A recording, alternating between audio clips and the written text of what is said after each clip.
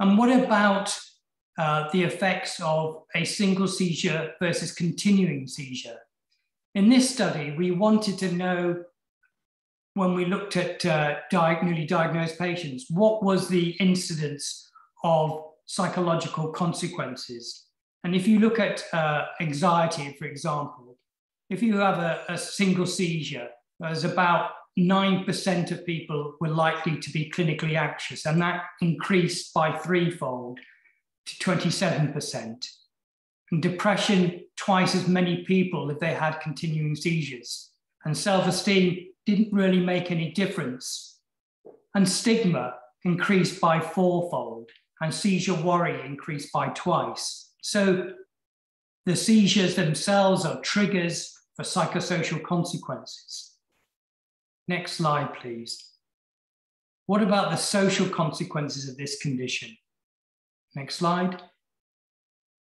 So we asked people with epilepsy and their families to tell us about the impact of uncontrolled seizures.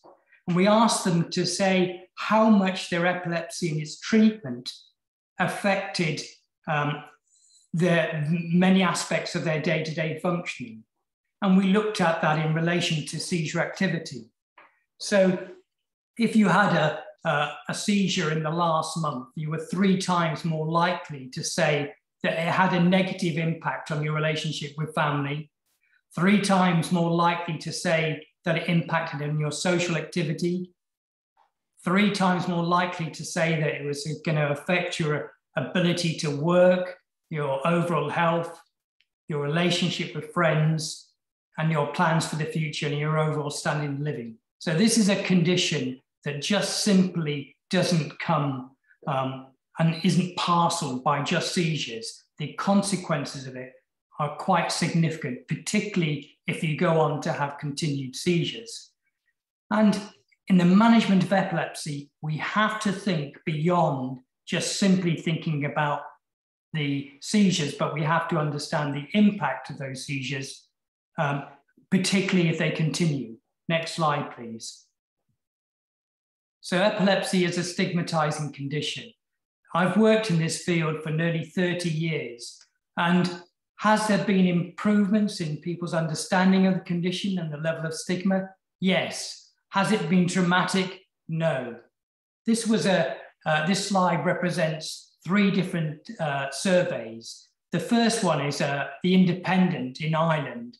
This is an article that was published uh, on the 26th of May 2013, which is only eight years ago. And they asked um, 20,000 young people in a survey whether they would date a person with epilepsy. And it was ridiculous. More than half of them said no. And more than half of them said that they would be stigmatizing um, to have a, a, date with somebody with epilepsy. And they recognized that epilepsy itself was a stigmatizing condition. And that for me is sad because it tells me about the fact that progress has been made, but it is slow and it's incremental. And in a survey done by Austin et al. in the US, 40% of teenagers said they were not sure whether people with epilepsy were dangerous or not. A third said they would only consider dating. A third said that only a third said they would only be dating, would only consider dating a person with epilepsy, whereas two thirds said they wouldn't. And 75% of those surveyed said that if you had epilepsy, you were more likely to be bullied or picked on by their peers. And in a study published in the UK in 2006, there were concerns that seizures led to social avoidance among peers. So the story still remains in terms of epilepsy as a stigmatizing condition per se. And that means that uh, organizations like the IBE and the ILAE have a significant amount of work to do um, in relations to taking a much more wider impact on, on uh, understanding epilepsy and its treatment. Next slide, please. And of course, epilepsy is a condition that's associated with neuropsychological consequences. Next slide. This was a, a study I did of uh, just under a thousand people across Europe and asking them, well, how does epilepsy uh, affect the way that you cognitively uh, react? And you can see that approximately a third to two thirds of people said that it affects very clearly aspects of their day to day function, including forgetting people's names, following instructions, ability to do mathematics, remembering telephone numbers, learning something new, and slowing thought process down and producing mental and physical fatigue. So it's not a harmless condition. It's a condition that is associated with cognitive impairment. Now, of course, every person with epilepsy is different, and some people will have significantly intact cognitive functioning, where others may be severely compromised. And we can't predict terribly well who that individual is going to be, who does well and who doesn't. Next slide, please. So I asked people to talk about the consequences of their epilepsy and its treatment on cognitive functioning. And many said that there was no doubt about it in their minds that taking anti epileptic medication produced cognitive effects, particularly memory loss, or it produces effects where they feel tired, confused, and slow. Or as a consequence of their epilepsy, treatment, they find it difficult to speak in public or have difficulty finding the words they want to use. And of course, people associate the medication with uh, cognitive suppression, even when perhaps the seizures themselves are making a significant impact. Next slide. So we have this condition, which is not just about seizure activity. It is goes well beyond that, and it affects people in almost all aspects of their lives. And so when we think about the management of this condition, yes, it's important to prescribe anti-epileptic medication to stop the seizures, but that doesn't resolve all of the difficulties. And there are these very clear psychosocial consequences that we need to address. And so, what are the treatment options available for psychosocial consequences? Well, there's individual therapy, there's group therapy, there's now a internet programs, there are self-management programs, and of course, there are epilepsy support organizations, and there are complementary therapies, and their folk medicine, and their pharmaceutical therapy and surgical treatment. And we have to decide how can we provide this level of service to as many people as possible across the globe given the limited resources that already exist, even simply prescribing medication. And that's a, a challenge for the IBE. And so in this afternoon session, what I want to do is to ask our panel of distinguished speakers to talk about their experiences of providing psychosocial treatment. And at least we then have a platform for considering how we might move forward um, with management of this condition from a psychological or neuropsychological or social perspective. So I want to start off by uh, introducing um, the uh, first speaker. And the first speaker is uh, Dr. Nuran Aydemir, who is a psychologist and an associate professor uh, in Turkey. I've known her for more than 20 years. She served uh, on the epilepsy research group in Liverpool uh, with Professor Jacoby and I, and did her PhD on understanding the stigma of epilepsy. And she's worked on a number of studies uh, in Turkey, China, and Vietnam, looking at knowledge and understanding of epilepsy and stigma associated with epilepsy. And Nuran has kindly agreed to talk to her to us about her experience of providing psychological services in Turkey. Um, I'd like to present Nuran Aydemir.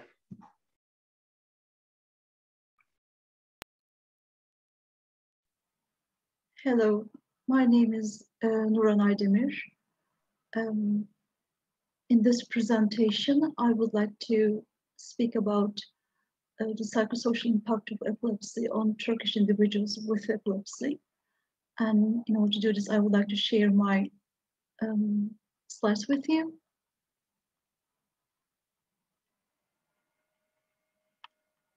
Okay. Before we start to the psychosocial impacts, I would like to give you some information about the numbers. Um, in terms of the prevalence of epilepsy, it is approximately 10 to 6 uh, people in 1,000. And this prevalence is not so different than the prevalence of epilepsy in developed countries. And then uh, I would like to say a little bit about the word that we use uh, for epilepsy in Turkish. Um, this word is Sara. It is actually not a Turkish originated word, it's Arabic. It means a staggering or holding condition. And unfortunately, uh, this word has um, highly negative connotation in the language. For example, if a person has problem in walking or has a shaky hand, um, in daily life we call it do not act like you have Sara.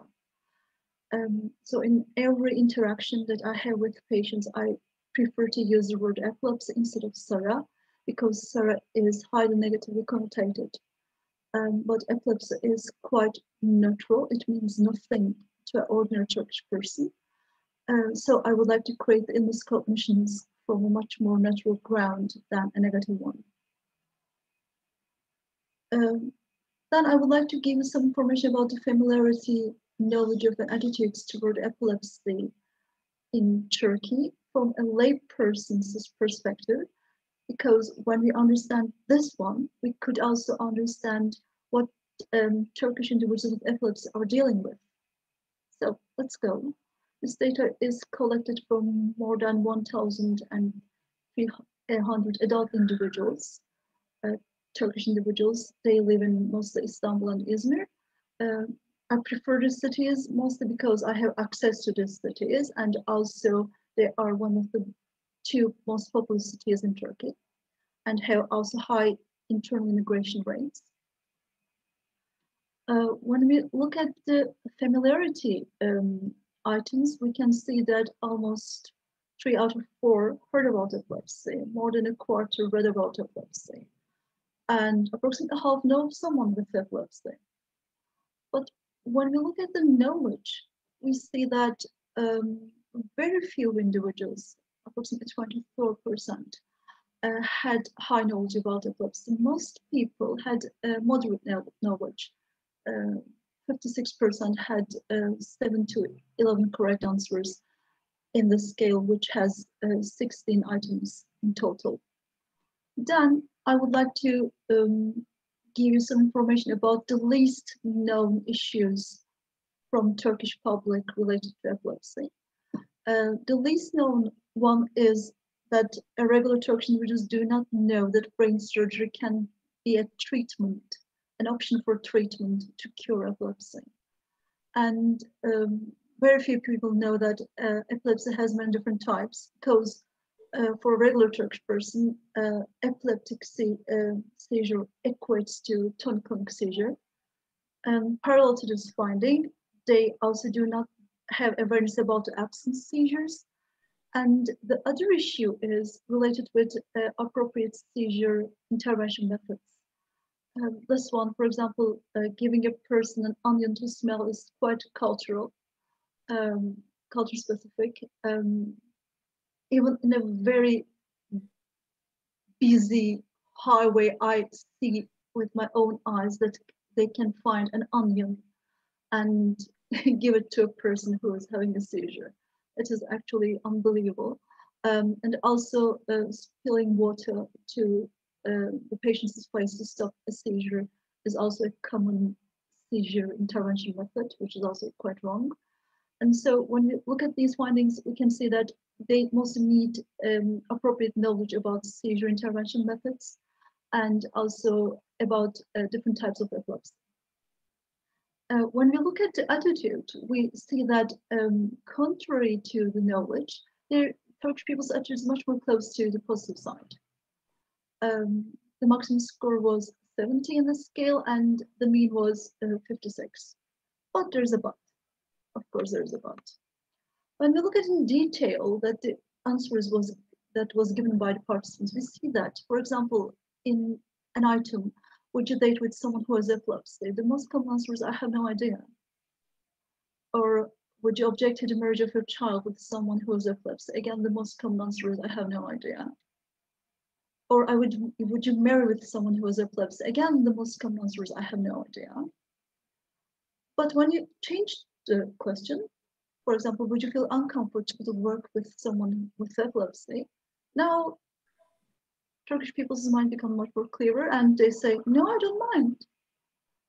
Uh, when we combine these findings, actually we can see that Turkish people do not mind about being a friend or being a co-worker or being a neighbor with someone who is epilepsy, but they do have hesitations to be a relative, specifically a blood relative to a person with epilepsy. So for average Turk, um, it is not a problem to put a person with epilepsy in the outer circle, but they are reluctant to put this person in their inner circle. Now, I would like to mention about the psychosocial effects of epilepsy from the patient's side. Uh, this is quite familiar. Um, the marriage rates and related to this, of course, the fertility rates are quite low when we compare it with the control participants. Also, the employment ratio is low when we compare it with control participants in the epilepsy group. But an interesting part is there is no difference in education between epilepsy and uh, control groups. So um, the underemployment or unemployment or low marriage rates are not related with their level of education other factors actually seem to be responsible from this. Then let's see the depression ratio. Um, usually I study on uh, patients who has um, drug um, resistant epilepsy. So in this group, depression is higher. It's approximately 30%. But in a much more recent study from Turkey, um, the group is much more, more homogeneous. And they found that before COVID, it was 17%, and after COVID, it was it increased to 23%. So we can see that it is much more higher in um, seizure, um, in resistant seizures, drug resistant seizures, but lower in um, other groups of epilepsy, but still high actually. Um, in this study, uh, I asked individuals with epilepsy open-ended questions and they answered again open-endedly uh, about their most reported concerns, affected life domains and restrictions caused by epilepsy. And the most reported concerns are related with having a seizure um, outside home um, because they have problems about um, what is going to happen to them, um, what kind of seizure intervention they are going to receive or whether they are going to suffer from an accident or not. And also they have problems about having children and ambiguity of future use of AEDs and being a burden to others. And also um, the negative consequences of independence is commonly reported. Uh, affected life domains is much more related to work, education, family life. Again, personal independence. Again, um, social physical activities. Cognitive is much more related with forgetfulness. They report uh, memory problems psychological well-being, romantic relations. And in, at the end of the list, they stated driving. And when you ask only the restrictions, they stated driving in the first, at the first, because they know legally they do not supposed to drive. Uh, but uh, in Turkey, especially in big cities, the public transportation is better. It is much more convenient. It is much more cheaper. So actually, people with epilepsy do not suffer from issues related with driving. Uh, restrictions also, they um, report social physical activities and independence, and also education work life. But when we look at the three domains, the only common issue that they stated is um, their constant emphasis on independence. Um, actually, it was also something that we see in their regular visits to hospital. Um, it is not uncommon to see a 45-year-old patient to come to their regular um, visit, neurological visit with their mom, father, um, spouse, children. It is like a family visit actually. And when we ask them, is it valid for every condition? They always say, yes, I can't do anything alone. They always give someone accompany me whenever I, wherever I go. And then we develop a scale um, to see uh, how much overprotection they perceive. And these are, by the way, adult patients. 50% uh, of the patients reported perceived high uh, perceived overprotection. And although families have good deeds, of course, while they're doing these overprotective behaviors, but the consequences in the long run, long run are quite um, detrimental. Um, because this overprotection, they can't develop um, social skills, they can't develop uh, social networks, and this also limit their opportunities to uh, find a romantic partner or job opportunities or have necessary social skills to survive alone in a society. So in the long run, actually, um, protection should be handled carefully in Turkish culture. And based on the open-ended answers that I presented a few slides ago, we developed a epilepsy concern scale and applied it in 200 adult individuals with epilepsy. And we found that 48% uh, of the participants reported high concerns related to feature and occupation, and 49% reported high concerns related with social life. They have concerns because they do not have skills actually to survive in these conditions actually uh, in real life. So the concerns are actually related to the lack of knowledge or lack of experience, by the way and also they have concerns related to marriage and having children. So when we look this um, in general, we see that they have um, concerns related to um, most domains of the life. Another issue is that we see commonly is concealment of epilepsy. In this study, we compared epilepsy and migraine because migraine is also an illness which has neurological manifestations. It's also an episodic illness. And I would like to compare something which is close to epilepsy. So uh, differences could relate much more with the uh, epilepsy itself um, when you compare to closer illness. So I asked patients, have you ever concealed their illness? And if yes, for how long? As you can see, none of the migraine patients said yes. And approximately 40% of the patients with epilepsy said, yes, I did or I still do. And then I asked them for how long. And this is, I think, the interesting part. 31% stated that I concealed it within the first few years after the diagnosis. But 69% stated that I still conceal it. So actually, this shows us that it is not an initial reaction to the diagnosis of epilepsy. It is a long-term strategy. And when we asked their reasons why do you conceal it, they again gave us open-end answers and we then classified. The most common reasons are felt stigma, not enacted ones.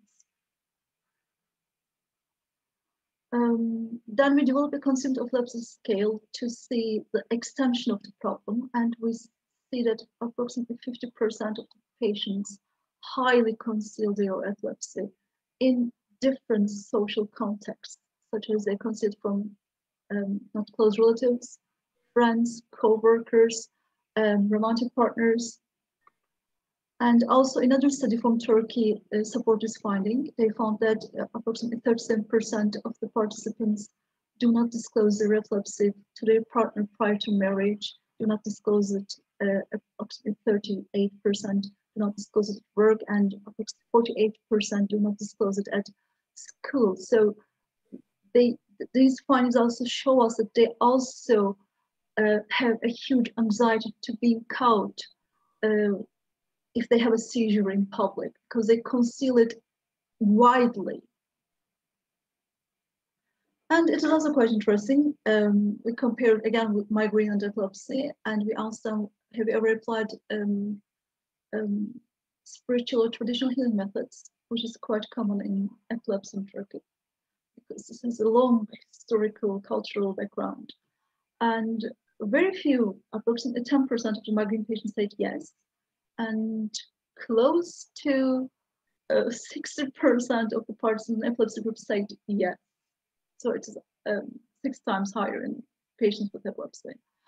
And the methods that they apply is also quite different. For example, migraine patients mostly use bioenergy or acupuncture, while patients with epilepsy use much more spiritual methods such as um, lead um, spelling or lead casting, sorry, or carrying a muska um, or going to a hoja.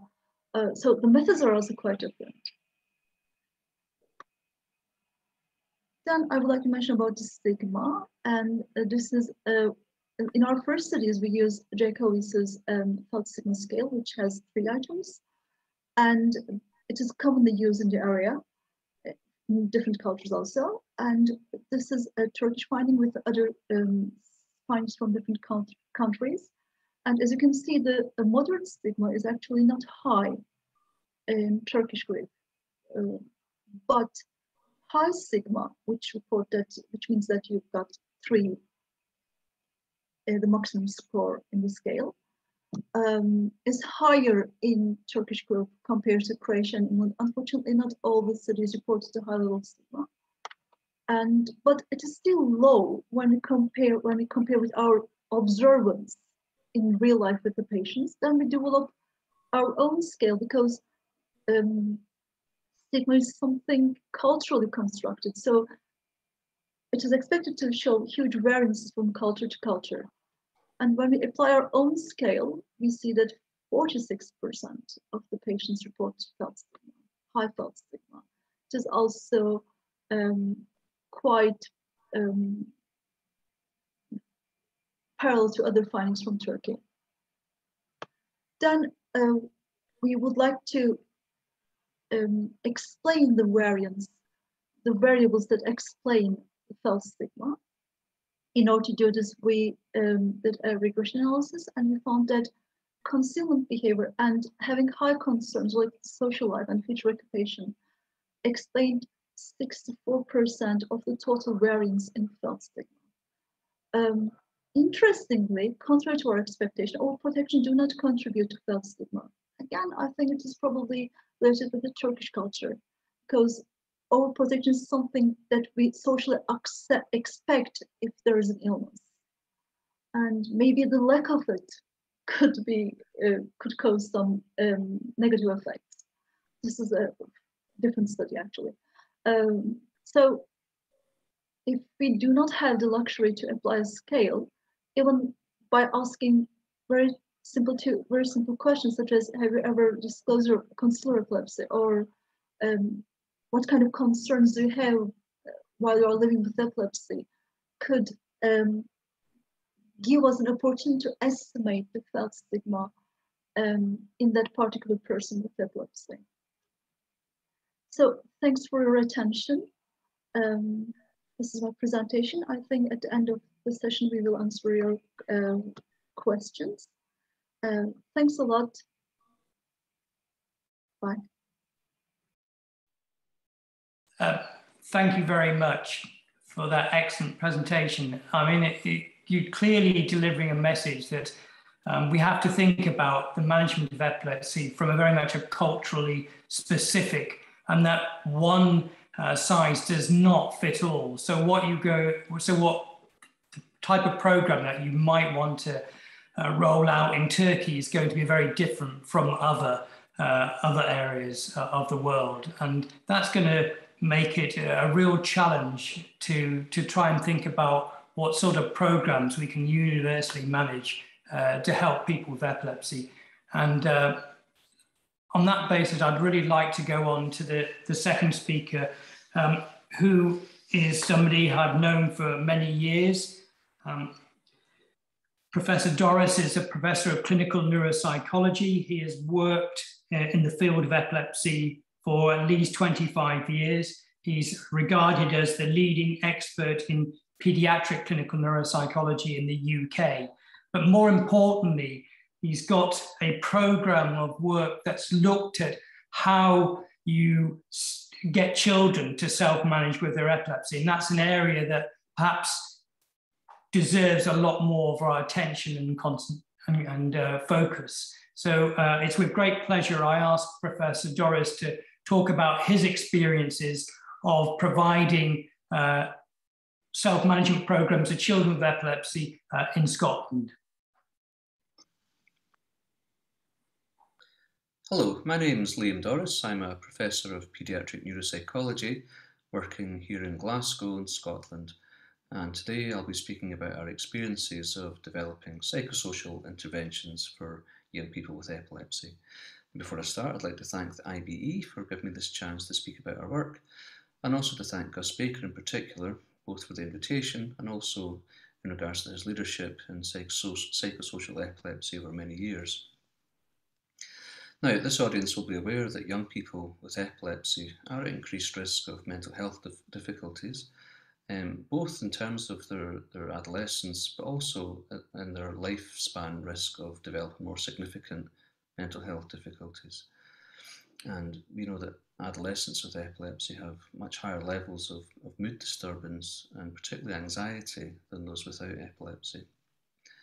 And what we see in clinic often are young people whose mental health needs um, are not um, so significant that they would have help from child and adolescent mental health services, or indeed in particular support and education, but who have significant anxieties and worries that might um, make them socially anxious, might impact on their um, friendships, and on their willingness to participate in normal community activities. We've also, we also know from previous studies that having low levels of epilepsy knowledge has also been one of the factors that um, links with this higher level of anxiety and again impacts on, on social outcomes. And many of us have become interested in thinking of what kinds of early interventions we might develop that might impact on that, that might make young people a bit more confident, a bit more engaged, um, a bit more willing to discuss with friends uh, any concerns they have and to participate. And we would hope that by using these approaches, we might then impact on the later development of more severe difficulties. So as with many other centres, um, it's quite common to run teenage epilepsy clinics, usually delivered by specialist nurses. And we um, built on that in Glasgow to develop a range of qualitative focus group studies where we really wanted to drill down a bit in terms of the everyday experiences, thoughts and concerns that young people had growing up in the context of, of having epilepsy. And we ran these both with young children and with teenagers. And this was really helpful um, and very instructive to us in terms of thinking about both epilepsy related issues, but also just general developmental concerns. And thinking about the points at which we might intervene to help um, young kids just to have that confidence to discuss any, any worries and, and know how to um, stay involved with everyday activities. So um, We've, we've developed um, this work in various ways. We've developed a quality of life measure, the GEOS-YP, which is the Glasgow Epilepsy Outcome Scale for young people, which again is useful in clinic just in terms of mapping um, the experiences and concerns young people have. And we've also used a lot of the themes to develop um, a group intervention, which is the main thing we'll, we'll discuss today. So we've moved from the, the, the teenage clinic in, informed by focus group studies to then develop a pilot um, group intervention, which we then refined over a few years, both using the, the bottom-up approach of the qualitative studies, so we're, we're working from the, the themes expressed by young people, but also then uh, had advice from an expert reference panel of psychologists, nurses and neurologists working um, in, in epilepsy just to develop a really refined um, model. And we've produced a, a manualised six session psychosocial intervention, which we've called the PIE study, which is just, just the psychosocial intervention for epilepsy. And that's the main thing we'll go on to look at. So this was an exploratory RCT manual-based psychosocial group intervention. And we published this in Epilepsy and Behaviour in 2017 for those of you who are, who are interested. So our aims were to look at the preliminary effectiveness of running a psychosocial intervention and we used outcome measures looking at quality of life, mood, uh, knowledge and self-management of epilepsy, as well as a range of measures looking at the feasibility of running the intervention. So amongst the screening measures, we used the Beck Depression Inventory and the Beck Anxiety Inventory, as well as a range of demographic um, measures. And the formal measures were the PIED, uh, which looks at um, mood, the PEDS-QL, which is a well-known quality of life measure, the GEOS-YP and the epilepsy knowledge profile, and then the seizure self-efficacy scale for children and the brief illness representations questionnaire, as well as a range of evaluation measures looking at the experience and acceptability of the actual intervention. In terms of inclusion criteria, so we you had to have a diagnosis of epilepsy of at least six months duration, age between 12 and 17 years, and to have uh, what we've pragmatically called a reasonable level of expressive and receptive English language ability, just so you can fully participate and contribute to the group process, and also that you had to be in mainstream schooling. So on this occasion, we did exclude those um, with a diagnosis of learning disability or those who attended the special school. Now, we do feel that the PIE intervention could easily be amended um, for that group um, with, with more significant cognitive difficulties, um, but we've not gone on to do that so far. We also excluded those with more complex mental health issues, or if you had non-epileptic seizures in the absence of having epileptic seizures, and also those whose epilepsies occurred in the context of postnatally acquired structural lesions, immune mediated disorders, or metabolic disorders. So, in terms of who our participants were, so we, we uh, included 83 participants with a mean age of 14 years, predominantly female, 50 female and 33 male, all attending mainstream school, a third of whom had some educational support, um, and the vast majority had no mental health support, but 8% did attend CAMHS, almost 5% a school counsellor, and 3% attended specialist services such as neuropsychology. And the mean time since diagnosis, diagnosis of uh, five and a half years. In terms of the type of epilepsy, um, predominantly, our participants had one of the generalised genetic epilepsies, whilst the third also had a, focal epilepsy. So, in terms of the design of our study, it was a, a waiting list control design. So you were randomised um, in terms of uh, sex and age into either a treatment or a control condition. So both both um, groups did receive the intervention, that the control condition had to wait three months in order to start their intervention. So both groups complete baseline measures, then group one receives the six week intervention and group two has to wait three months. And then measures are also completed at the end of the intervention, um, at, at six weeks, again at three months, and at six months follow up. In terms of the, the content, briefly, the first three sessions really were um, based on increasing uh, skills in understanding your own seizure condition, developing skills to talk about that, both with your, your friends, with your class, um, with doctors and nurses, and within your family.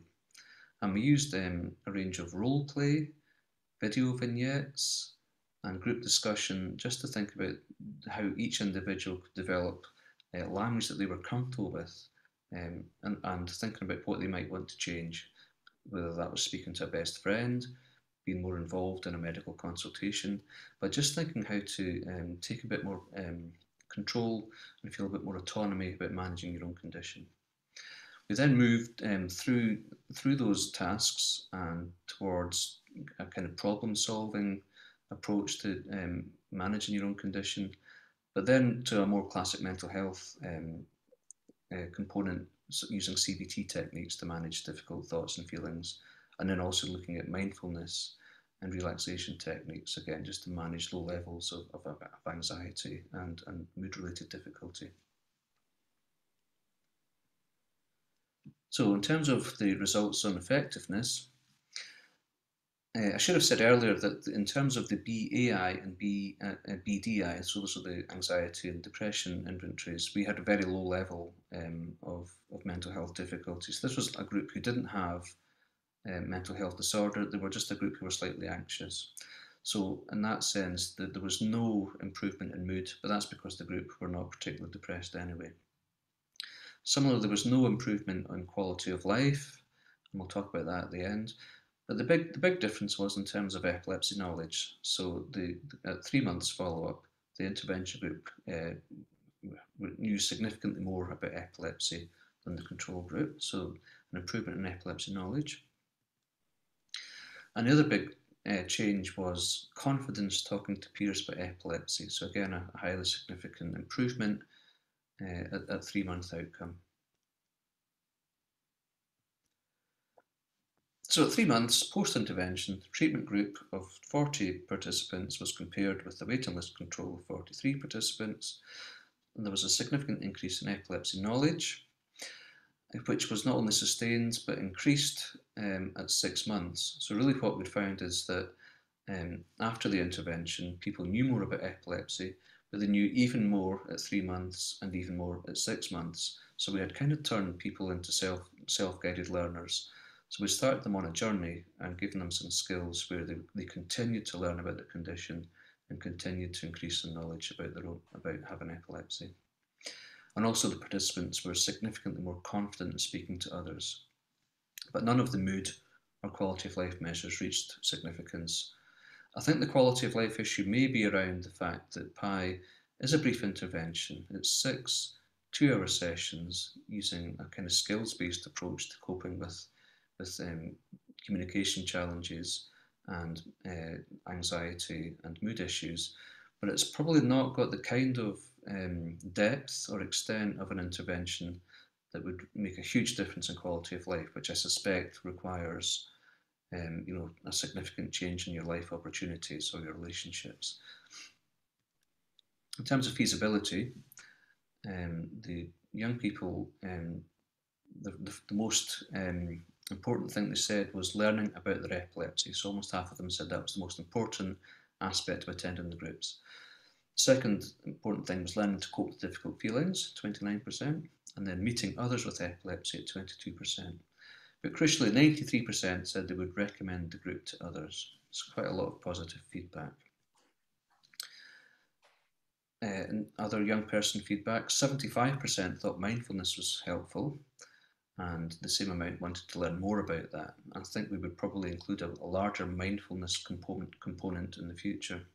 Some of those uh, comments were it was helpful um, to me because it helps me to feel relaxed, it takes the stress and depression away. Another person said mindfulness is very helpful, it helped me to let go of my negative thoughts. I've never realised everything I have in the present moment, which is surprisingly large, and I will keep practicing mindfulness. And someone else said it was very helpful in every aspect of my life, not just epilepsy. I think that was um, something that was really crucial from, from the, the group was that whilst there was a lot of content focused on the condition of having epilepsy, more of it was really just around um, developmental issues and growing up with having a chronic condition in the background, but just learning some general life skills which seemed to really, really help um, the young people. Terms of um, formal feedback then, so it was very highly rated in terms of organisation, the materials. I should say that we, the, as well as a, a manual um, for the for the PIE intervention with all the content for um, for those providing the intervention. The participants also received a handbook, and the, the content in the handbook matched quite well with the the, um, the instructor's uh, manual. Uh, people found the group activities helpful and rated the facilitators uh, highly as well.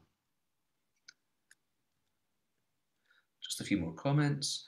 So one young person said, it was lovely to get the chance to meet people, sorry, it's having a technical thing, with similar experiences to myself. It made me feel less alone, more understood and happier. I enjoyed my time, learned a lot about my condition, and I also met others like me. I will miss the people. It was great because I made new friends. And it helped me correct rumours about epilepsy, and I learned more about it. So caregivers were also positive. Um, one parent said, by attending these meetings, our child has opened up about their condition, has also learned more about her condition, and has more confidence asking questions in clinic. A second parent said, hasn't changed anything with my child's seizures, but has definitely helped my child's confidence.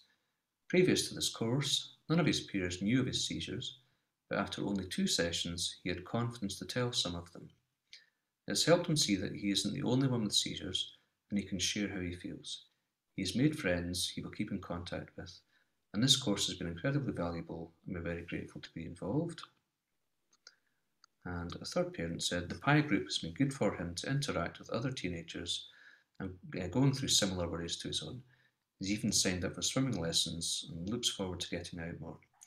So crucially, the participants uh, were learning skills, but then putting them into practice in terms of the goals that they had. So they were telling their friends, they were signing up to more ordinary activities, and really just being out there in the community. So that was that was the real goal was that people could know a bit more about their condition, could communicate with friends, with teachers, and with others, and were just getting a bit more involved in, in the opportunities that they that they had in their lives. Feasibility then, so reasonably good um, uh, completion rates. So in group one, we had a 79% um, completion rate. Group two was a bit lower at 68%, and we, we would assume um, because there was a much longer wait between being inducted into the study and receiving the intervention. But really quite good feasibility and acceptability ratings.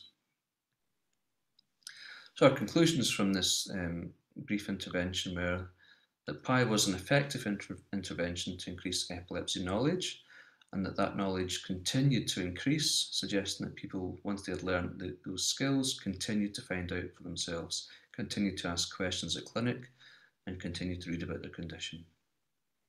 Also, that people were significantly more confident to talk about having epilepsy with their peers. Um, as, this, as our participants had a low incidence of mental health problems, there was no impact from PIE on improving mental health, but as I said, that could probably be developed um, with further sessions as an add-on for, for um, groups who were higher on mental health difficulty. We didn't find any impact on quality of life, but feasibility was high, and we feel that PIE could, with modification, become part of the normal care pathway for young people with epilepsy. And it's worth saying that this is this is a very good use of uh, resource. So I think the epilepsy nurses thought this was a very good way to um, focus uh, and use structure in terms of their teenage clinics uh, and in, in, terms of their, their psychosocial role. And the clinical psychologist also felt it was a very good use uh, um, of their time in relation to providing an early intervention. So the study has um, gone on. So several of the, the seven centres that ran PIE they have continued to use that within their care pathway. But also, our colleagues in Edinburgh have also added PIE to a development that they have been working on over the past five years called PAVES, which is Psychology Adding Value Epilepsy Screening. So it's a mental health triage tool where um, young people attending a neurology clinic as part of their epilepsy care uh, complete an SDQ, so that's a Strengths and Difficulties questionnaire via uh, an online portal. So it's described as a kind of hands-free psychology screening for mental health vulnerabilities and includes a, a kind of early step intervention model. And let's just quickly look at what that is. So they use a traffic light system. So from the SDQ score, if it's a low score, you're just into the green zone, so you don't really need any intervention. Intermediate scores are in the amber category, and then there's a kind of stepped care approach where you can be referred to uh, a, charity. In our, in, in our context, it's Epilepsy Scotland is the charity for further support, or to a self-management group information, sent relevant self-help materials, there are parent workshops and a drop-in centre. And then for those scoring uh, in the red domain, so higher, again, there can be the similar disposals, but they will also offer the PIE intervention for those who aren't um, necessarily uh, would be able to be sent to CAMHS, but who do need some input. So, so the PIE intervention, I guess, is the, the kind of top of their care pathway, and that's where there's that's the kind of highest intensity. And in terms of the SDQ ratings, this is 232 prior to the pandemic. If we, if we compare the number in the red zones, these are high SDQ ratings. We see that 38% score in this red category compared to only 5% in terms of the general population and a further 50% in the amber. So we can see here that more than half of the children attending neurology outpatient clinics are either in the amber or red zones in terms of um, their SDQ scores or their or early emerging mental health issues. And so to date, the PAVES project's been very successful and it's actually led to a 62% decrease in, in referrals of young people with epilepsy to CAMHS from neurology clinics. So it's been an exceptionally efficient and effective use um, of time. So just to finish, in terms of the Scottish experience, I'll just point to a few publications. One is the, the PIE study, which we've talked about, and please feel free to get in touch with me about that. Also a recent publication uh, on PAVES, so again, that um, is worth looking at.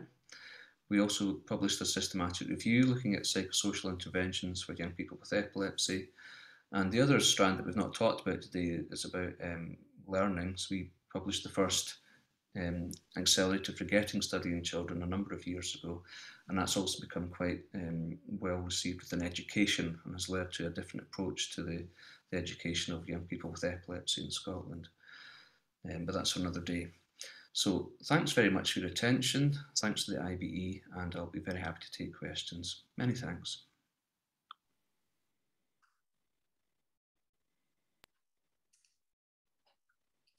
Thank you very much, uh, Liam, for that excellent presentation, which I'm sure has left all the audience thinking about why aren't we providing this sort of service in our own country or, or our own hospitals? And uh, how can we roll out something like that uh, for children with epilepsy? Because it looks absolutely spot on for meeting the needs of uh, children and their and their families and anything that's going to empower them to manage their condition and be an advocate for, for epilepsy, has got to be good news for them and for their family. Let's carry on with this story because next speaker is uh, from Mauritius. It's Devisha Dassyne, and she's going to talk to us about uh, her experience of uh, providing services in Mauritius. Uh, her background is as an organizational psychologist who has been um, spending a significant time helping and support people with mental health. And she has more recently moved into providing services for the Mauritius Epilepsy Organization. So it's with great pleasure I ask her to present on her understanding and experience of um, providing services, psychosocial services for people in Mauritius. Thank you, Devisha. Hello, everyone. I'm Devisha Dassyne from Mauritius. Thank you for having me here today. It's a real honor to be able to present for the IBE Congress. So just a little introduction on me before we get started. I'm currently the mental wellness advisor at, uh, at a tertiary education institution in Mauritius. And at the same time, I'm a part-time psychologist at EDYCS Epilepsy Group, which is a non-governmental organization that caters for people with epilepsy in Mauritius. So the topic for today is going to be on psychological treatment of epilepsy and the Mauritius experience. So we get started. So just a little overview of the situation here. We currently have, we currently believe to have 2% of the population suffering from epilepsy. So that amounts to 24,000 people approximately, but we do believe that this number is not quite accurate and that the number of cases are underreported because um, it could be because of stigma problems that we have. So people are, are quite hesitant to come and to uh, get themselves diagnosed, for example, uh, because uh, they look differently when it comes to having uh, living with epilepsy and Mauritius. So it's still a taboo that we are trying to fight every day. And um, how, how is it understood here? Again, like I said, like I mentioned, uh, the stigma is very much present. So we can see it in schools. So for example, when children having tonic-clonic seizures, attending uh, schools, and they have their seizures during classes, we can see that the, the little classmates would be a little bit curious about what's happening, maybe not really understanding as well of uh, what's happening to their classmate. And sometimes this can be a risk for more bullying.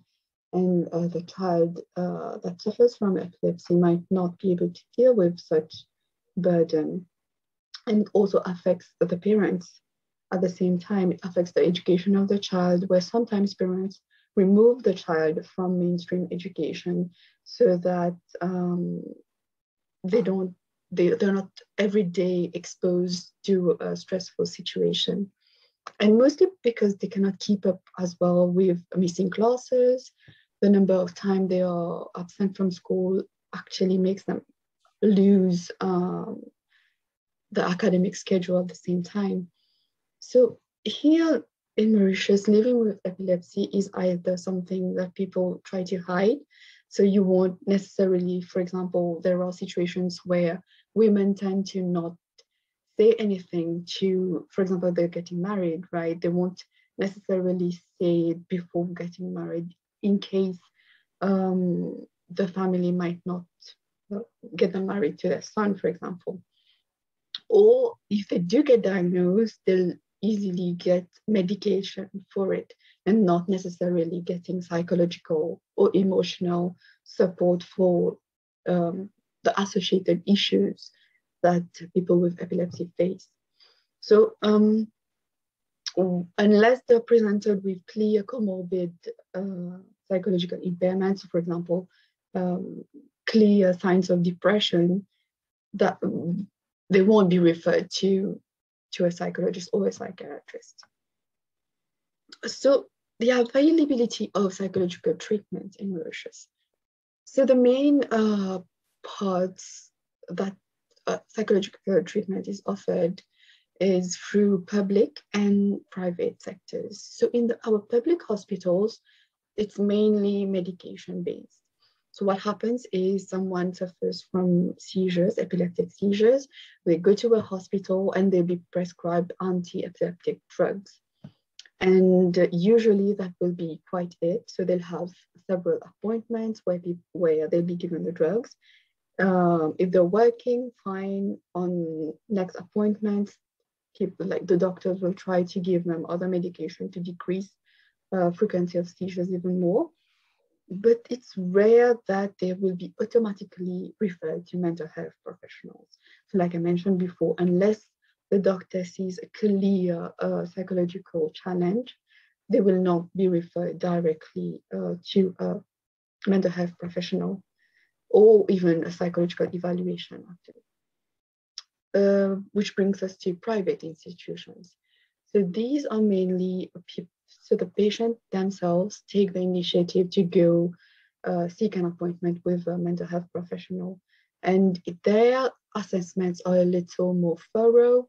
It's easier for um, the people to express themselves at the same time. The appointments will, the sessions actually will be longer as well.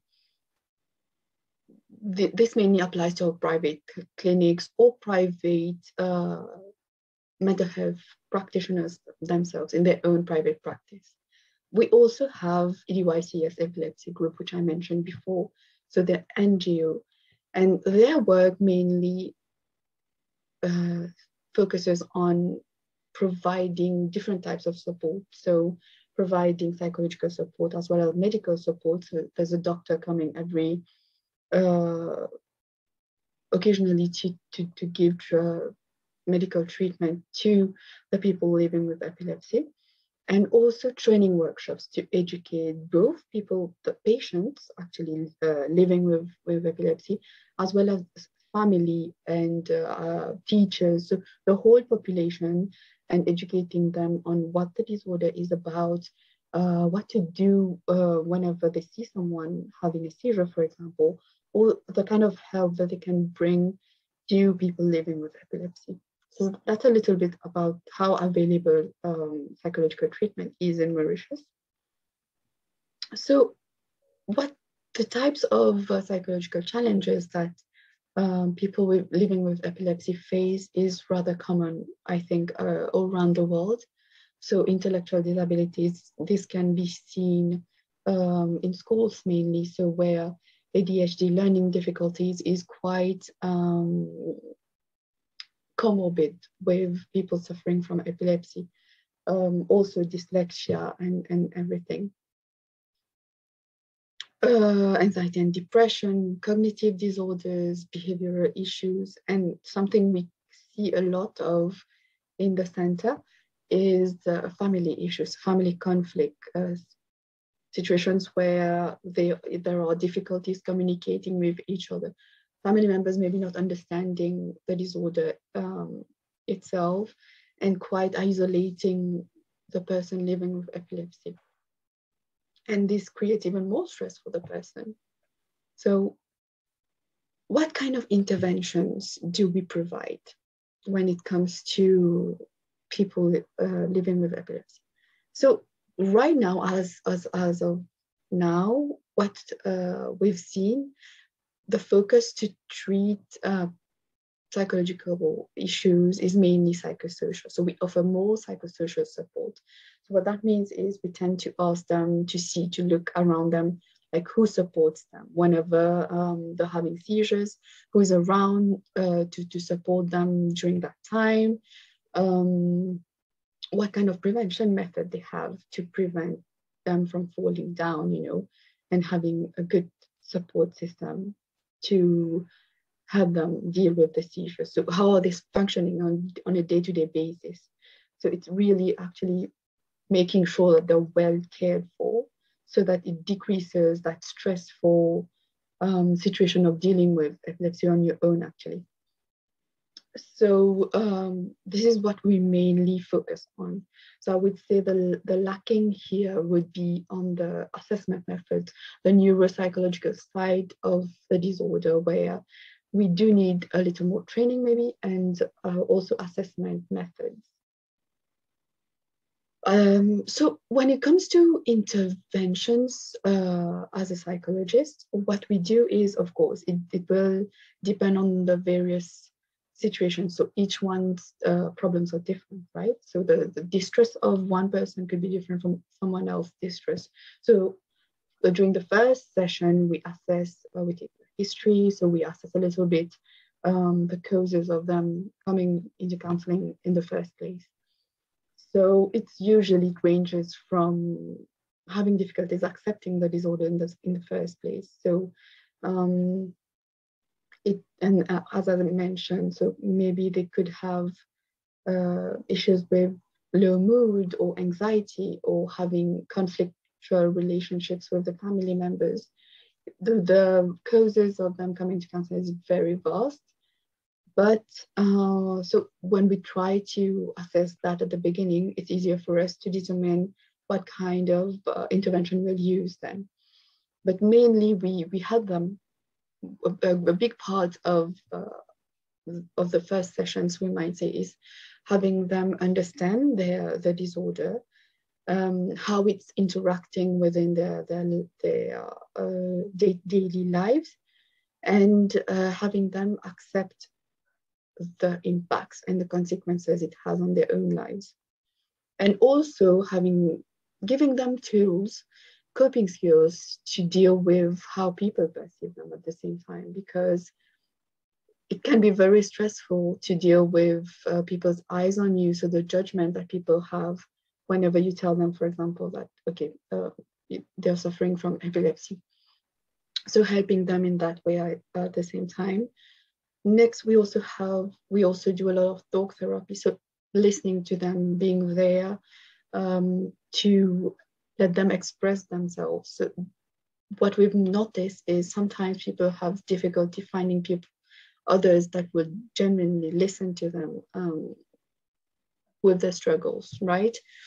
So being there in a non-judgmental manner is very important for people living with epilepsy. We also uh, give a lot of uh, relaxation techniques. So we teach them how to breathe properly whenever they're facing uh, anxious moments. So different uh, breathing techniques that can calm them whenever thing, uh, emotions are getting a little too intense. Uh, progressive muscle relaxation if they feel tension in different parts of their body or after a seizure if they're still feeling the stress so being able to relax themselves afterwards we also do mindfulness training sessions to help them just really be able to take in whatever is around them and be mindful of, of um, what's happening to them every day and being able to not continually dwell on the negative aspects of the disorder because while the disorder is very much difficult, it's not like any disorder, yes, but the epilepsy is something that can happen anytime, right? Not everyone have uh, cues on when it's going to happen. So it, it, it can be quite hard for people to anticipate and which accentuates a little bit on the negative aspects of the, of, of the disorder. Uh, a, a, huge part of psychological intervention is also fam family therapy. So we call in family members whenever we can see that there is a little conflict, or maybe some family members are not really understanding how the person is living through um, the disorder. What we do is we call in everyone and we try to manage, to help them manage their relationships, to help them understand each other and be able to live properly um, in a supporting environment at home as well. So uh, when it comes to intervention, it really depends on the situation of the individual. And based on that, uh, we follow through with a proper treatment plan for each one of them. Uh, so a huge part of uh, what we consider psychological intervention is psychoeducation. So we do believe that this is actually important to prevent further deeper psychological challenges to happen afterwards. So it's better to educate and creating a supportive community and rather than having to treat um, more important, more serious conditions afterwards. So this part is mainly done by EDYCS Epilepsy Group. So what, what uh, we do is organize training workshops and this targets every level of, of, of the of the society. So it goes from teachers, pre preschool teachers, uh, primary school teachers, secondary school teachers, medical professionals, mental health professionals, civil society um, officers. So everyone from the public or private sectors, what we do is we organize workshops to um, help educate them on what epilepsy is, how it affects people, and how, uh, for example, you could help if someone uh, with epilepsy is around you. So um, what, what this does is also decrease the stigma attached to the disorder because we tend to be scared of what we don't know, right? So if we don't know about something, we tend to be like, oh, um, maybe I'll stay away from this one. So it, it keeps the stigma growing whenever we do not talk about it. So what those workshops do is we initiate the conversation. So we get the conversation going so that we are able to decrease the whole taboo around, around epilepsy. And uh, if we know about something, we're less scared of it. And we can see that it, there's nothing to be scared about. We can actually help people uh, are all living with the, with the disorder in a better way and also um, avoid incidents where um, sometimes, for example, there are villages in, in Mauritius where sometimes believes that, for instance, putting a spoon uh, whenever someone is, is having a seizure is going to help them not bite their tongue. But this could be actually dangerous. So educating people about those things could also prevent further incidents. This is mainly for the medical part, which, is, which we also do, but for the psychological part, so educating them on comorbid disorders, so uh, how people with epilepsy are more prone to developing, for example, um, depression, anxiety, or um, uh, children living with epilepsy actually develop having comorbid learning difficulties or um, ADHD and so on.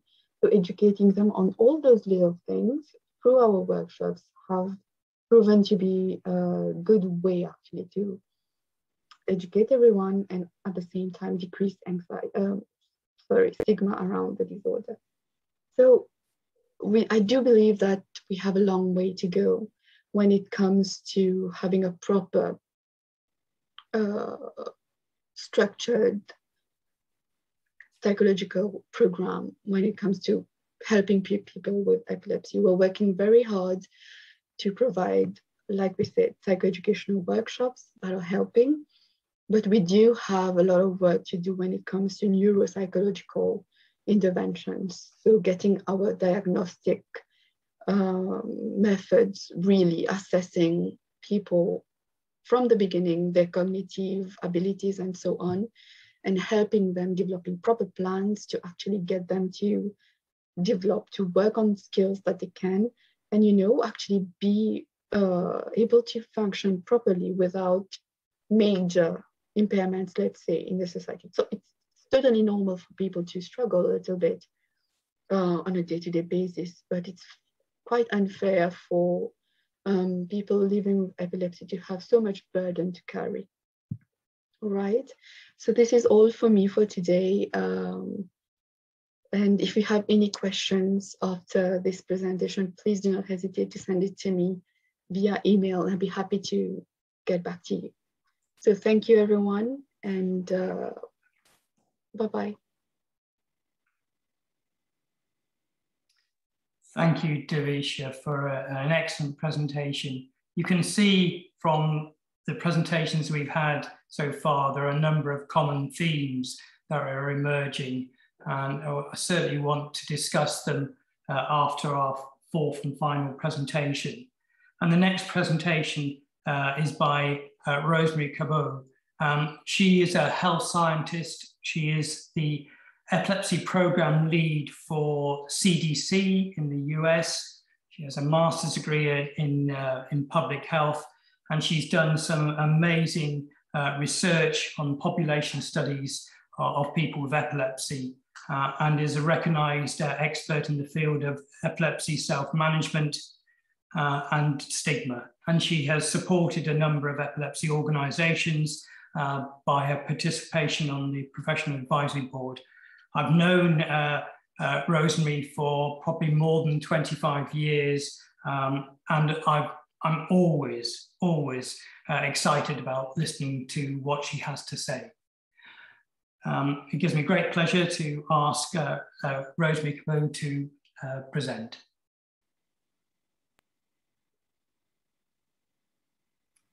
Greetings, everyone. I appreciate this opportunity to join the International Bureau of Epilepsy Day session on psychological treatment and self-management of epilepsy, where I'll talk about the US perspective on epilepsy self-management programs. So just a quick disclaimer that these are all primarily my opinions, not the official position of the US government. And for my talk today, I'm going to talk about a public health approach to self-management that we use here in the US. And so I will highlight our CDC epilepsy program self-management framework, including our efforts to systematically advance self-management research, to disseminate evidence-based programs, to support implementation research as well. I'm going to also briefly cover some lessons learned from other um, US national efforts on program dissemination. And I will wrap up with uh, some resources for providers and patients, as well as review some next steps that I think are needed. So CDC's National Center for Chronic Disease Prevention and Health Promotion that houses our epilepsy program promotes chronic disease prevention through four strategies or domains. The first focuses on epidemiology and surveillance, so measuring how many people have chronic diseases and risk factors. The second domain focuses on environmental approaches. So this means improving environments to make it easier for people to make healthy choices. The third domain focuses on st strengthening healthcare systems to enhance screening, to diagnose diseases early and to keep people well. And the fourth domain focuses on linking clinical services with evidence-based community programs that help people prevent and manage their chronic diseases and conditions. So increasing the use of effective interventions such as chronic disease self-management programs, evidence-based chronic disease self-management programs, is a CDC recommended strategy to improve population health. So additionally, in public health, we intervene, of course, at population levels. So we talk about the management support as a population approach. And this means having a grouping of um, policies, programs, services, and structures that extend across multiple sectors to support individual chronic disease management. And this is important because this approach underlies our effort to foster epilepsy self-management support in the US in a systematic way. And we are the only entity in the US to do so at this time. And in part, this is why I'm primarily focusing on our work. So additionally, just to emphasize that the US public health system supports chronic disease education broadly, I wanted to highlight some national objectives through our Healthy People initiative. And briefly, Healthy People is a uh, national health promotion agenda whose aim is to improve population health over each decade. And as you see here, Healthy People has included objectives to increase the number of adults who receive effective arthritis, diabetes, and asthma educational programs, including mo most recently an objective aimed at increasing um, self-management among those with chronic pain, given the burden of chronic pain in the population.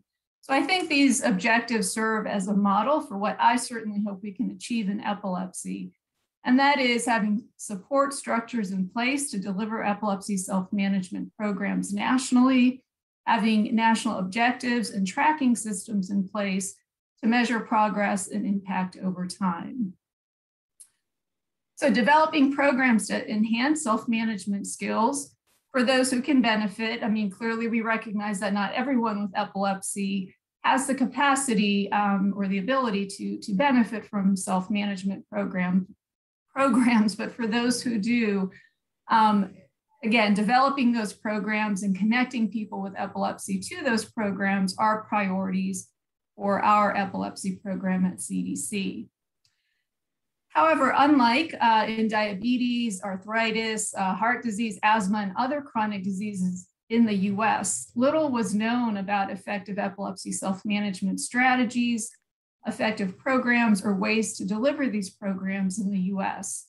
So for these reasons, CDC supported self-management research as far back as in 2002 um, as a fundamental first step of our epilepsy self-management support system framework that you see here. And the second step in the framework involves evaluation of self-management programs so that we can ensure that the programs are working as intended. The third step involves dissemination of findings and provider training opportunities with the epilepsy community. The fourth step involves supporting community-based pilots through various partnerships that I'll talk about in a moment. The fifth step involves continued evaluation of all of these efforts because again, evaluation is so critical to all of our work. And finally, um, we have a need to support cost studies of these programs in the US so that we can explore reimbursement uh, mechanisms to sustain these programs. So although CDC's Managing Epilepsy Well Network, or the MEW network as we like to call it, is now 14 years old, um, it certainly follows early promising research on self-management that we supported as one of uh, my first um, projects when I came to CDC as a behavioral scientist back in the early 2000s. And so the mission of the MEW network is to advance the science related to epilepsy self-management by facilitating and implementing research, conducting research in collaboration with uh, community partners, and broadly disseminating the findings of that research with the epilepsy community. So this is essentially just a snapshot of our timeline and structure, including the specific awardees over time. And I think it nicely demonstrates CDC's commitment to this topic and how the program has grown and changed over the years. Whoops. And as noted, um, initial projects focused on research and program development to meet local interests and needs. So um, our teams tailored programs for specific subgroups based on local input. They tested those programs and again disseminated those findings. And given some of the initial uh, promising efficacy results, we later supported replication studies and again, dissemination of uh, products, as well as provider trainings. And our goal with the most recent funding cycle is to continue to expand the evidence for intervention effectiveness and to explore some implementation factors associated with both individual and institutional program adoption. So at this time, um, we have eight evidence-based programs that address different self-management domains that have been tested in uh, one or more uh, randomized controlled trials or RCTs.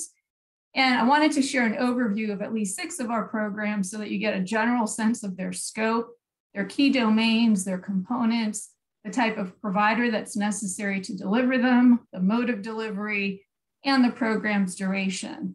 So in the interest of time, I'm not going to you know, review all of the details, um, but just as a quick example, for um, HOBSCOTCH targets people with epilepsy who, who obviously have memory problems. And key components include self-awareness training and use of memory strategies. The program can be delivered by different uh, licensed providers as well as accredited um, community health workers. So the um, Delivery includes two telehealth or in-person visits with the healthcare provider at the beginning to foster a personal relationship and also one at the end. But in between, um, most of the program content is delivered via telephone um, uh, by, the, by the trained HOBSCOTCH coach. And you see that um, the program lasts about eight weeks. And briefly, um, Mindset is um, different in scope. It's a tablet-based decision support tool that a patient completes in the doctor's office or ahead of time um, online. And it's been tested and evaluated and is now available for both English and Spanish speakers. And you get a sense of um, the scope uh, of, of PACES. So notably, uh, SMART's time and Project Uplift focus on addressing mental health needs of people with epilepsy. SMART is the most generic in scope, whereas both time and Uplift are designed to help people with epilepsy and comorbid mental illness. And you see that they each have a group component, including having a trained peer who works with a licensed provider to deliver the intervention.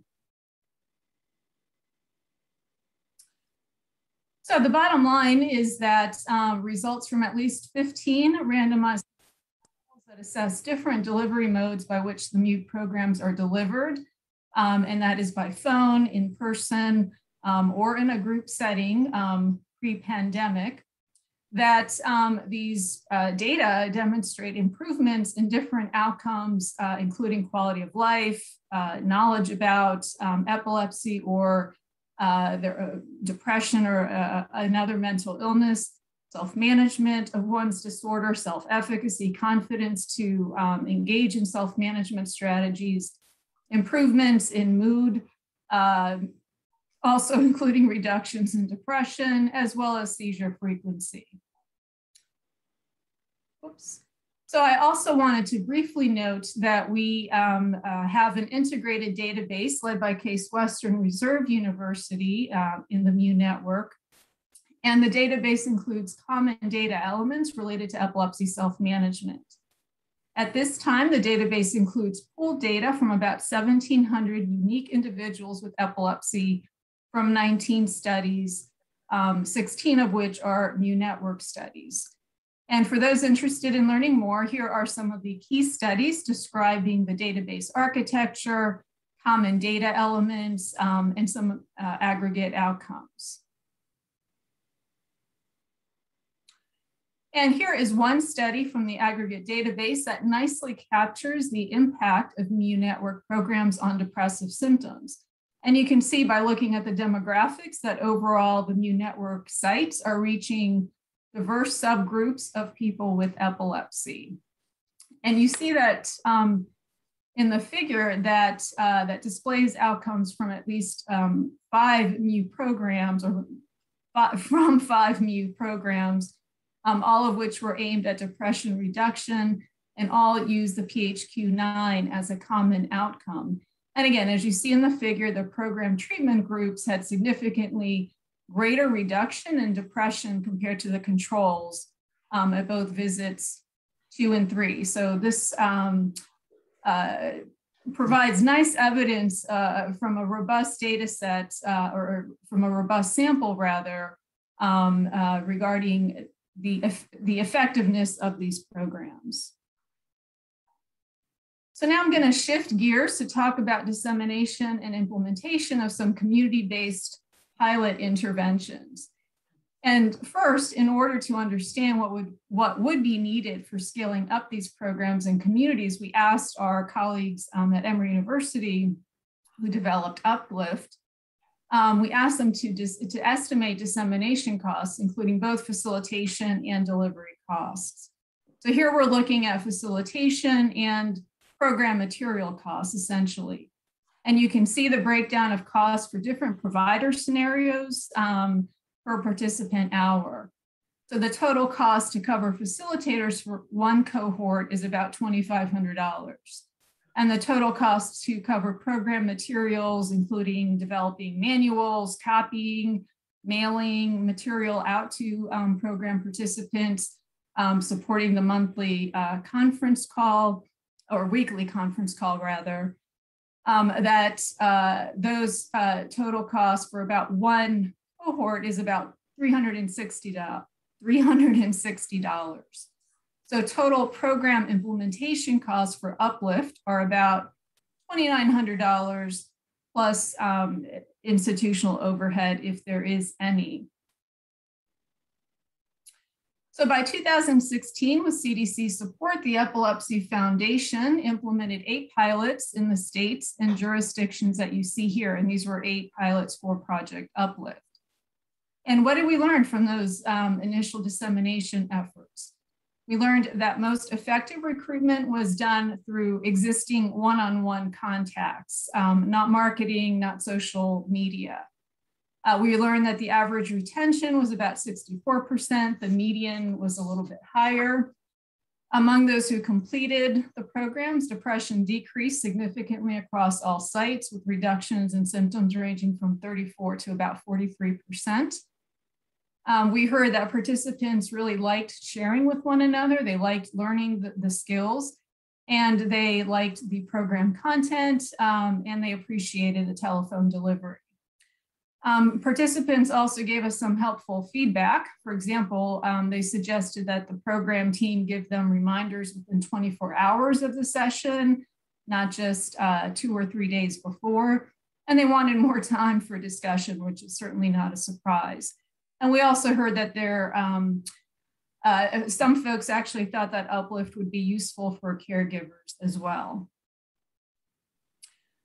So CDC and the Epilepsy Foundation have continued to partner to support more um, MEW Network pilot implementation since 2013 so that we can get epilepsy self-management programs into communities and learn how to do that effectively.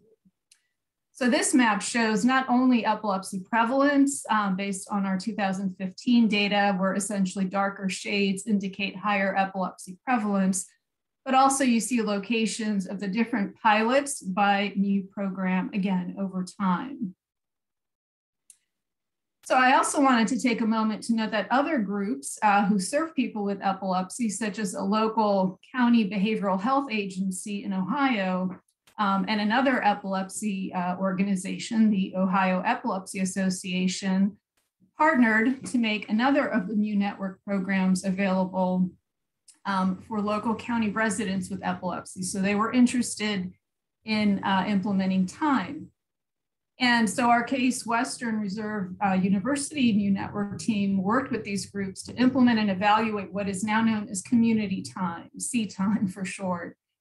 And essentially the data showed that C time was, was effective in reducing depressive symptoms and high and they and participants had high levels of um, satisfaction over 90% rated it positively. So this study demonstrated that C time could be successfully used in the community and it's wonderful to see that um, this program was advertised um, uh, by the uh, local county behavioral health agency so um, nonetheless, we still have work to do, uh, not only in the United States, but certainly in the field more broadly. As many of you no doubt are familiar, um, recent systematic reviews have pointed out that we have at best moderate quality evidence, and we certainly need more data to show that these programs work consistently as intended. But at least um, one of these reviews did highlight one of the MEW Network studies as an example of a methodologically robust study. And as um, we all know, despite known limitations, um, it's important to note that given the need among people with epilepsy that we know um, and growing evidence that the ILAE uh, Psychology Task Force recommended that psychological psychological interventions should be incorporated into comprehensive epilepsy care. And no doubt that's why we are all here. So I also wanted to briefly touch on limitations related to dissemination of epilepsy self-management programs. And here you see a map um, that is on the MEW Network website that identifies states with open self-management programs. So uh, a provider or a person with epilepsy could go to the link and submit um, a referral for themselves or for a patient. But despite our efforts to raise visibility of these programs, general awareness of their availability is limited. So we do face challenges with recruitment and retention and therefore have limited reach. And the reach is so limited, in fact, that it's becoming hard to justify continuing to support this work.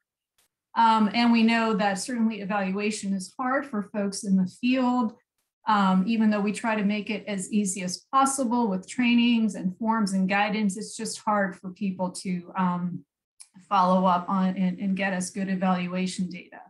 And certainly funding is always a limitation because we rarely have sufficient funding to support um, what is needed.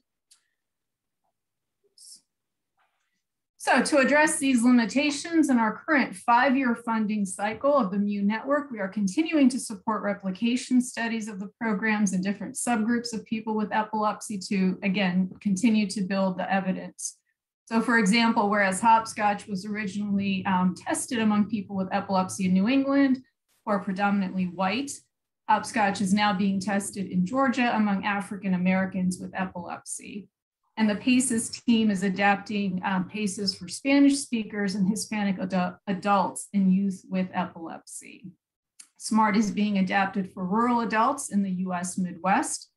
And we are continuing to evaluate um, English and Spanish versions of Project Uplift, um, as well as Mindset in the states that you see listed. Uh, so CDC is also funding the MEW Network teams uh, to engage in dissemination uh, and implementation research systematically to examine factors associated with program adoption, feasibility of program implementation, and we're continuing to support provider trainings and workshops in partnership with the Epilepsy Foundation, the American Epilepsy Society, the HOBSCOTCH Institute out of Dartmouth, as well as state agencies, as you saw. So um, what are some lessons learned from US studies on chronic disease self-management that can guide epilepsy work? We know that key reasons that people don't participate in self-management programs is that they simply don't know that these programs exist. They say that if they exist, you know, their doctors would have told them about them. The term self-management is um, a little awkward, it's unfamiliar, but once it's explained, you know, it makes sense to people. And um, we also have learned that primary care providers welcome information about community programs.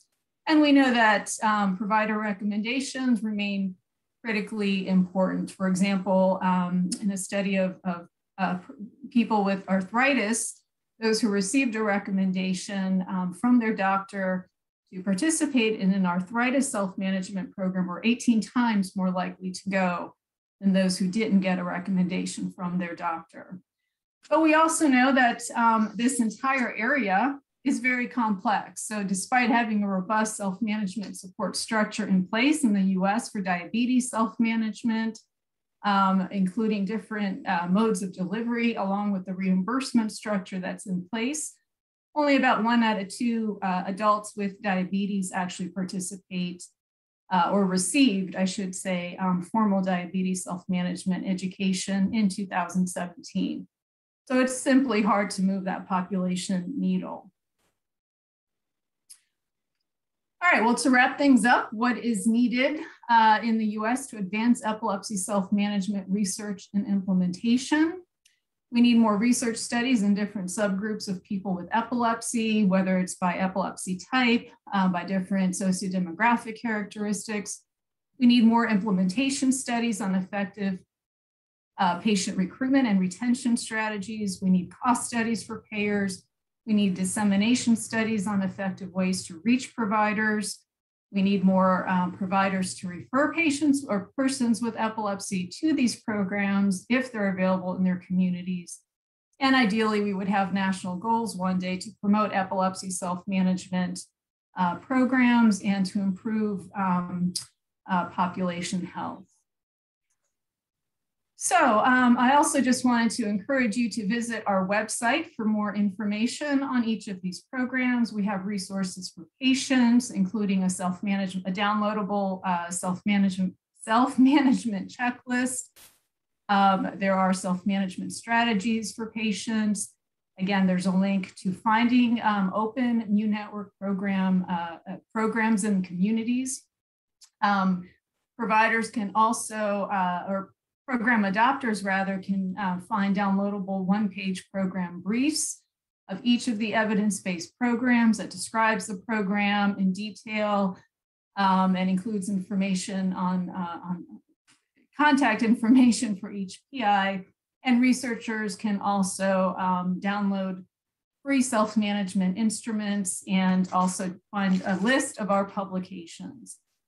So I just wanted to um, also finish by acknowledging our fantastic uh, MEW network colleagues at, uh, at multiple universities that you see here and our partners with the Epilepsy Foundation and American Epilepsy Society, um, all of whom have made all of this work uh, uh possible and um, we are so grateful to them. So thank you very much.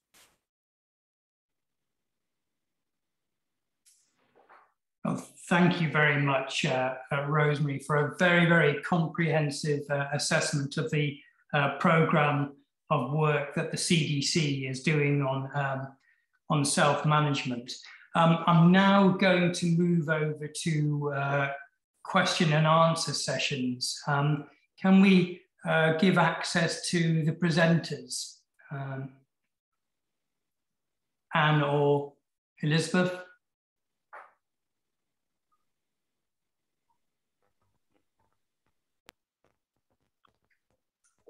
Okay, so let me uh, ask the first question. And the first question I want to, to give to Rosemary, and this is a, a question um, on the dissemination of self-management programs in epilepsy. Is there a difference between the uptake in epilepsy as opposed to those persons being offered a self-management program in uh, diabetes or asthma, etc.? And if there is, why do you think there is?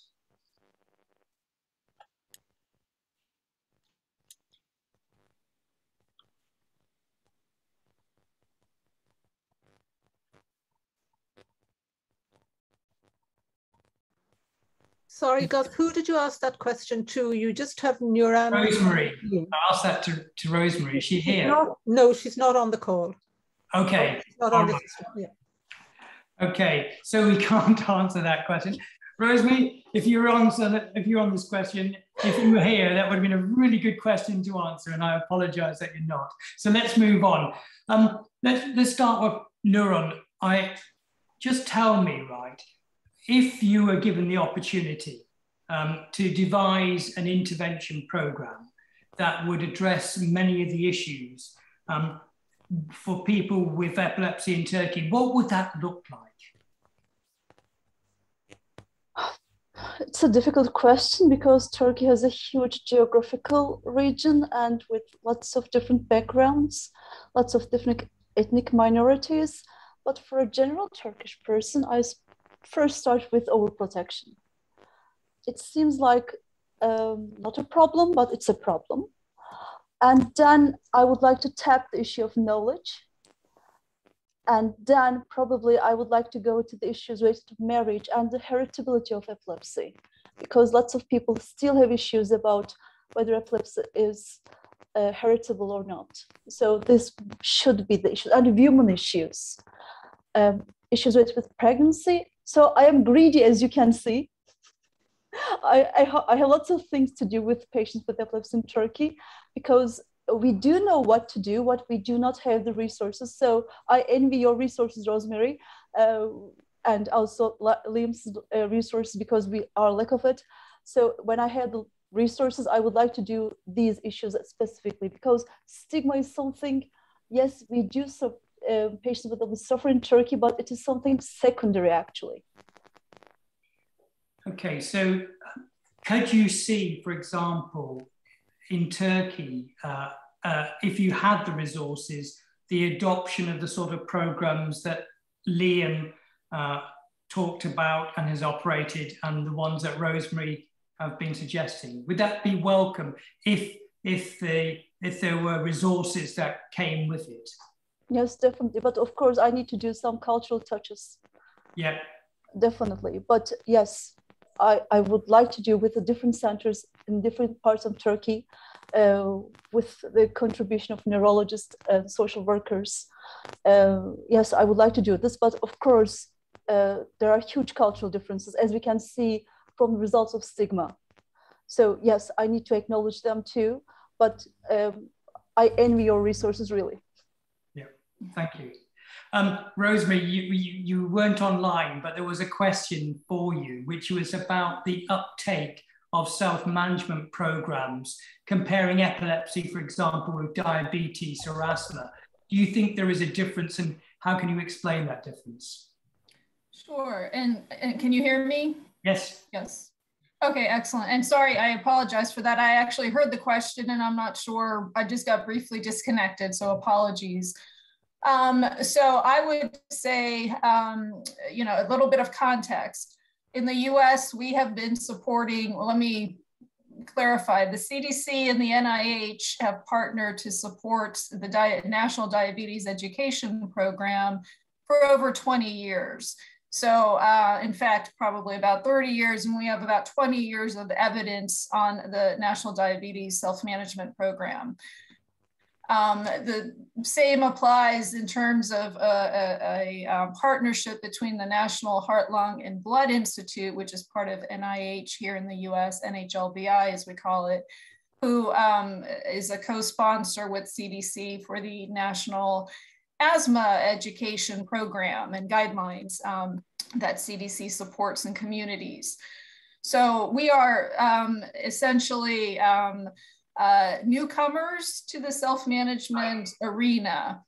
Having said that, I mean, I do think that's important context. So we don't have the data, obviously, to show um, even what good or what uptake is um, beyond our pilot studies. We don't have robust data to show what uh, how uptake is going in the U.S. compared to these other um, conditions. What I can tell you, though, based on um, you know what we do know uh, uh, regarding at least diabetes and asthma, is, is that about uh, one out of two people with diabetes who are rec- uh, who are uh, recommended to uh, participate in a self-management program participate. So um, not great, um, clearly, but um, not surprising. And I would venture to say that it's probably about the same for asthma, although probably a little bit higher for pediatric asthma.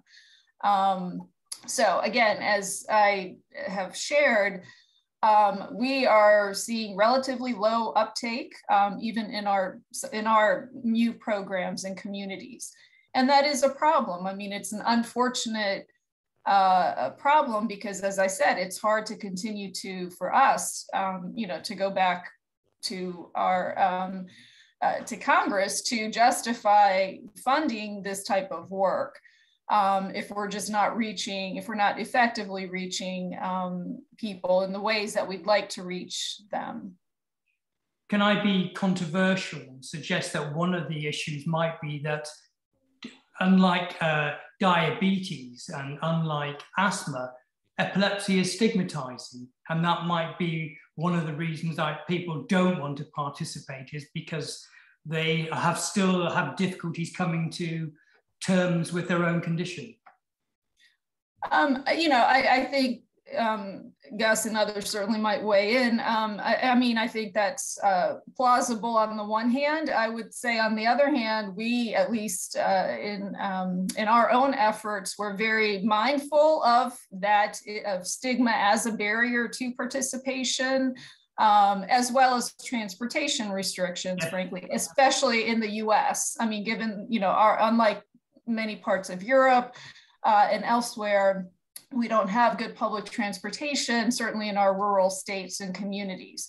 So that is why even 20 years ago, when we started this work, we decided to create programs that were delivered by phone.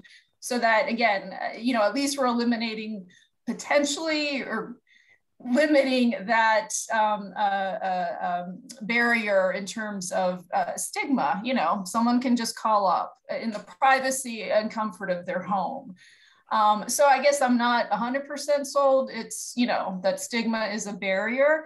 I would still attribute it to aware, lack of awareness, lack of understanding of the benefits of self management, and lack of provider recommendations for participation. So, so I just one one point, and I'll, I'll come over to Liam about that specifically. So, um, why aren't doctors recommending self-management programs in the U.S.? Hmm.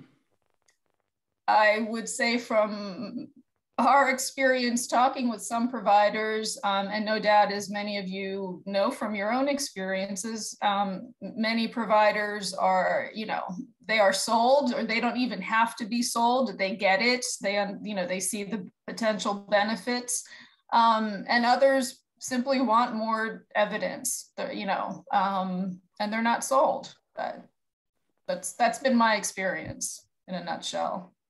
Th thank you, Rosemary. Um, Liam, um, any thoughts about this discussion at the moment from your experience?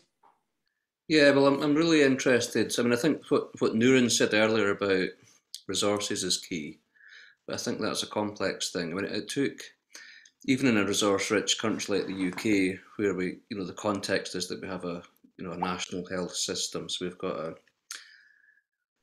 you know, a kind of universal healthcare coverage that with, um, you know, have epilepsy nurses in most paediatric hospitals, etc. But it still took quite a lot of, um, took me about three years to raise the funds to do the PIE study.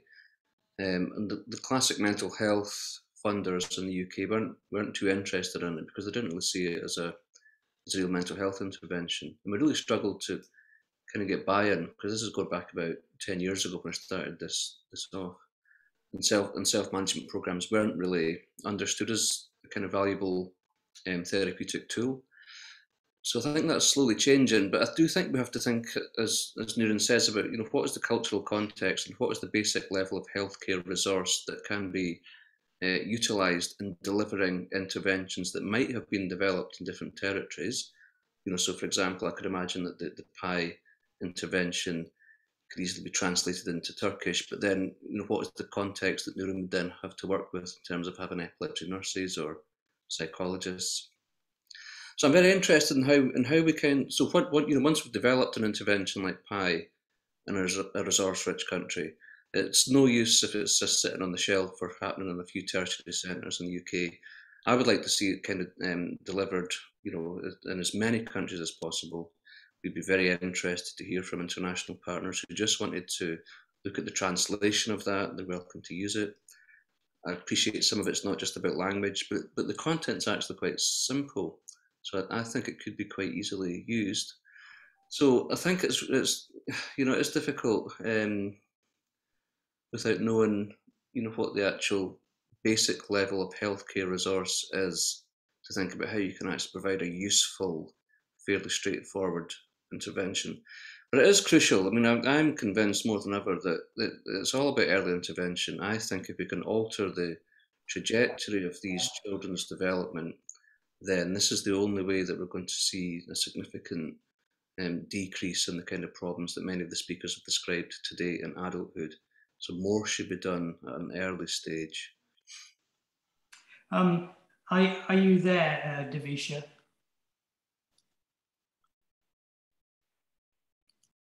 No, she's not attending us. Okay, thank you.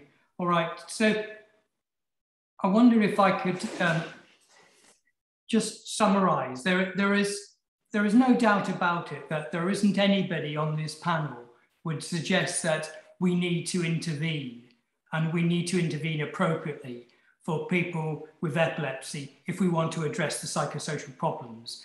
And I still come back to this notion if I saw a patient for the first time, a person with epilepsy, attending my clinic, I would want them, I would want to help them in order if I could alter the trajectory of their epilepsy. And I don't mean the seizures, I mean how they cope and adjust with that. I'd, I'd want them to know about what are the wider consequences of epilepsy and its treatment, the, the SUDEP, the, the, the risk of injury, um, the issues about pregnancy, the, the risks of anxiety and depression, uh, the challenges that they will have to face um, with, with having epilepsy in relation to their family, their friends, and their relatives, and not placing it in the context of a, a significant major struggle, but allowing them to recognize that it's going to be a challenging journey whoever they are, uh, unless their seizure is extremely well controlled very early. And I think the earlier we get in, the more likely we are able to provide people with the sort of support and services that they need. But Rosemary, you're saying that, you know, we're in the early stages of self-management. There's not the evidence that we need to convince everybody that's the right thing to do. Um, and if we and, and you're in a you know a fairly uh, good environment in terms of uh, the of being able to be supported by the NHS and, and very large organisations like Epilepsy Federation, Epilepsy Society, and I'm, I'm thinking about then in Nuran's situation where there's there you know there is uh, a little resources. How do we help her as an organisation make the sort of progress that have been made in the US and the sort of programs that she's seen that Liam run can can run out for children with epilepsy. I mean, this is a global prog- program. This is a global problem, isn't it? Yes. Rosemary, please. Okay, sure. Yes. Um, well, I think um, it is a global problem. Um, it requires um, uh, strategic uh, planning and intervention, but I think we have models, and I and I think of the mental health community and what's been done internationally. Um, for example, with respect to um, uh, training community health workers. Um, in fact, you know the the what what's being done internationally with integrate training and integrating community health workers as, as community um, as healthcare team members um, uh, you know is is what's been done internationally as a model for the US again we are now on track with getting uh, and training community health workers for diabetes management again asthma management we at CDC just for so that folks know we are also we developed um, self-management curriculum for epilepsy to train community health workers, and that's available on our MEW Network website. But my point is to come back to your question, Gus, and for colleagues like um, Nuran and others, and uh, uh, who may have, um, uh, you know, fewer resources, um, using the, the existing resources and capacity that exists in countries like uh, trained uh, lay workers, community health workers, other um, integrating epilepsy self-management training as a component in training for public health students. We've, we've done that here in the US as well. Um, for medical students, creating a practicum opportunity, for example, for public health students or, or medical students to, to provide, you know, one of the, uh, a self-management program for an eight week or three month period. I mean, again, all of this would require a fair amount of planning, but it can be done. So I would just say that, again, every location has strengths and it's a matter of starting from those strengths and building the building from the capacity that exists. Thank you. Thank you, Rosemary. Can I, um, I'm aware uh, of the time and we, we've reached the end, but I just wanted to thank you for your presentations, which are helping the IBE consider about what steps we can make as an organization at a global level to help people independent of which country they live in. And uh, what you're telling us is that this is uh, going to be an uphill struggle. It's going to be a challenge and it's going to be fun.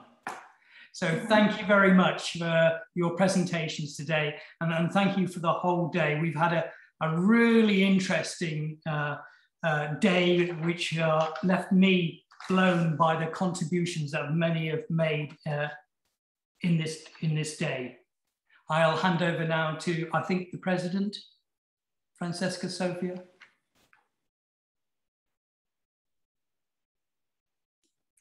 Hi, Gus. Hi, everybody. I was listening with, you know, great joy and appreciation all that has been said. I think today is a milestone for the IBE. The IBE Day was uh, a great success, and the comments uh, uh, collected in the chat box and the Q&A um, chat confirm. I think uh, we, um, we made it. Uh, we really uh, were able to um, to provide you with information, contents, and contributions uh, that can be used. And that's what the IBE is aiming for, for uh, to be useful and be um, and provide the community of people with epilepsy and their families uh, with tools and solutions uh, as I said, for me today is a milestone and I am proud also for the IBE team. Uh, I thank Gus, Lorraine, Mary, and the staff, and Little, and Elizabeth Cunningham for making a great IBE day, and all you participants for attending throughout these three sessions and engaging with us there will be more of this in the years to come. So thank you.